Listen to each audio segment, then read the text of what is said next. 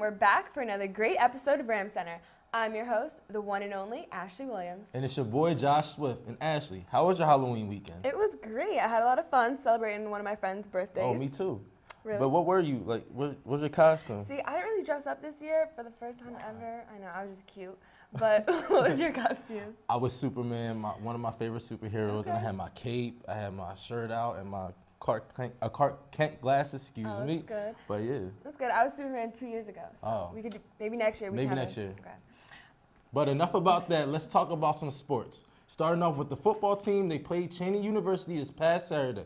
The Golden Rams must have scared Cheyney off the field because we beat them 41 to 20. All right. Quarterback Pat Moriarty went 17 for 30 for 251, tou- uh, 251 yards and three touchdowns. One of the touchdown passes were caught by AJ DePietro, and of course, my boy Tim Brown had to get one for 48 yards.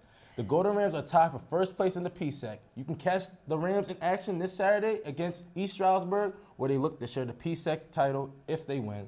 But if you can't make the game, it will also be aired live on Sports Fever TV. That's great. That I know is my parents love watching the Westchester games from home. Definitely. But I know my Rams are going to get the job done. So let's go out there and support them. Now, hitting it over to golf, the men and women's team did fairly well at PSACs. The men's team placed third, but they didn't repeat what they did hmm. last year. But there were some great individual performances from senior Corey Smith, who placed fourth, and Drew Patterson, who placed fifth. The women's team placed fourth overall, and freshman Michaela Simon tied for sixth place individually. Good job, good job, Rams. You had a great season. Way to finish out strong. Yes, indeed. They really worked hard this season, Ashley. They did. But let's dive into what the swimming did, swimming team did last week. The men's team finished the tri meet by sweeping Lehigh and East Stroudsburg. Alright. Also on the women's side, they split the tri meet against Lehigh and Stroudsburg as well. Both of our Golden Rams will be back in the water around Thanksgiving for the Pitt Invitational. Sounds like a big invitational there. Definitely. Well, Josh, our women's field hockey team ended the regular season with a bang. Oh, They got a 4 to 1 victory over Seton Hill on Saturday. Our defense was way too much for their offense. always. They only got three shots at the goal the entire time. Only made one of them. Yeah. Rachel Topi scored the first two goals that put the Rams in the lead 2 0 at halftime, and Dale Position scored the other two goals of the game. Westchester travels to Kutztown on Tuesday for the PSAC quarterfinals. I wish them the best of luck at the game. I know they can pull out a win. All right, now let's throw it to Marcellus for a Ram history report. I wonder who he has this time. Marcellus? Hey Rams, what's going on? It's your boy Marcellus here, bringing you a little blast from the past about some of your very own sports teams. Today, I will be discussing the men and women's cross country teams, giving a brief history of both teams' past accolades. So let's get started. Andrew Huber begins his ninth year as head coach of the Westchester University's men and women's cross country squads, as well as serving as the athletic department as its summer camps coordinator. Huber previously served as the director of both the cross country and track and field programs here at Westchester University. A native of West of Chester County, Huber has produced 13 all academic cross country and track and field athletes, 10 all academic cross country and track and field teams, 63 PSAC all conference selections, 21 PSAC conference champions, 26 NCAA Division II qualifiers, and 10 NCAA Division II All Americans. In addition, the 2006 to 2007 men's outdoor track and field team produced the highest PSAC championship finish, which was fifth place since 1983. Some facts about Coach Huber are that he is a 1995 graduate of Messiah College with a bachelor's in English. Huber was also a six time MAC All American for the Falcons during his career, as well as a school state medalist in the Junior Olympics national qualifier. Huber also holds a master's in sports administration from California University of Pennsylvania and has recently completed in his seventh marathon. Huber's athletes won 22 PAA District 1 medals in cross country in four years, as well as the PAA District 1 cross country championship in the year 2000. Huber was named the Southern Chester County League coach of the same year that season. We wish both the men and women's team luck as on November 7th, they'll be participating in the NCAA Atlantic Regionals at Lock Haven at 10 a.m. sharp, so make sure you stay tuned for that. Well, this is all the history I got for you guys today. Make sure you stay tuned to Rise Ram Center each week for all your sports needs. I'm Marcellus Council Jones signing off. Stay golden, Rams. Now over to Josh with This Day in Sports. Welcome to This Day in Sports segment. On This Day in Sports, in 1974, the Atlanta Braves traded baseball great Hank Aaron to the Milwaukee Brewers for outfielder Dave May. Both teams would go on not to make the playoffs the following season. On behalf of Ram Center, we provide this week's Day in Sports event. Now let's throw it over to James with his athlete spotlight. James?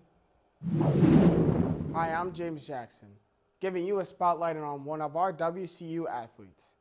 And as all athletes know, playing sports come with a whole set of challenges and adversities that one must overcome.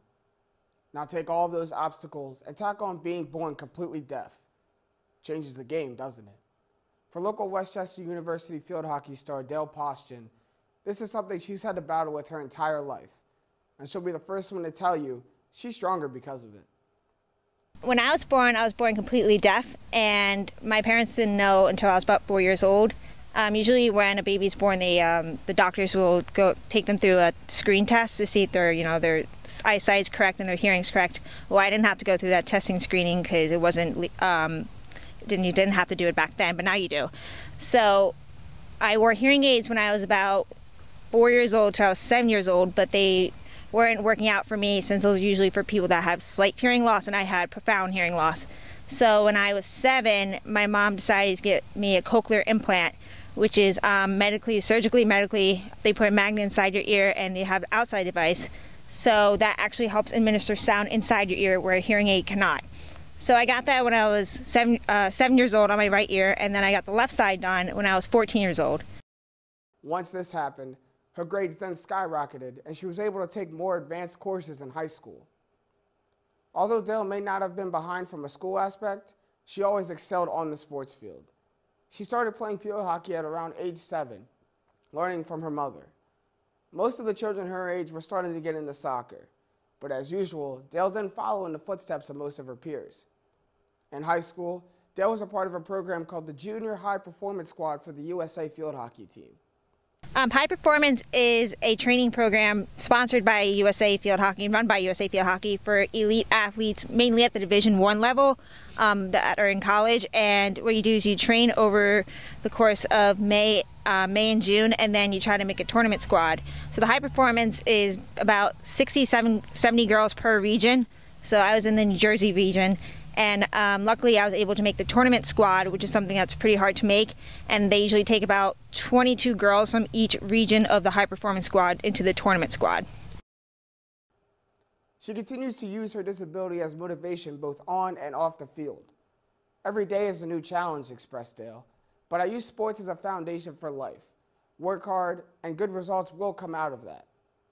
Um, you know, I will never hear the best out of everyone, even, you know, like normal hearing people like you guys. But, you know, I just have to say to myself, like, you know, it, who cares? You know, you got this. And you just have to keep a strong mentality no matter what. Dale thanks her coaches and teammates that have helped her along this journey of hers. But most importantly, she dedicates her success to her loving mother. Dale stated how hard this was for her mother to accept, but she never lost faith.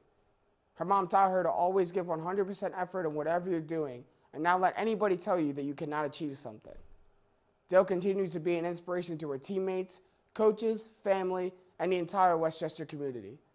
As midfielder, she's led her Golden Rams to a current number two ranking in the nation and continues to improve both on the field and in the classroom every day.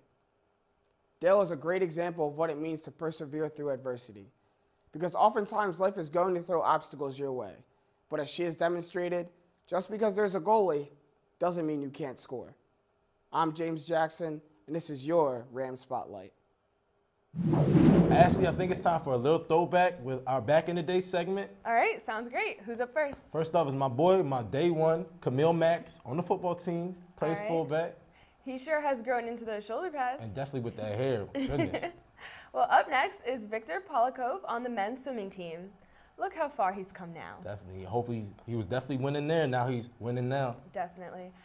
So let's see what Samara has in store for us with pro sports. Abby Wambach, the world's all-time leading goal scorer in the history of international soccer, has announced her retirement from the U.S. women's national team. At age 35, she is ending an illustrious 15-year international career with 252 caps, which is fifth all time in U.S. history and 184 goals. Her final game for USA will come on December 16th against China PR for the last game of their 10 game victory tour. Also retiring from the team are midfielders Shannon Boxx and Lauren Holiday, who have been vital to the team's success. Boxx, who has also been playing soccer professionally for 15 years, currently has 191 caps and 27 goals. She will walk away from the team with three Olympic gold medals and a World Cup victory, as well as memories of being the captain of the FIFA Women's World All Star team and being named MVP of the Algarve Cup in 2004 and 2006.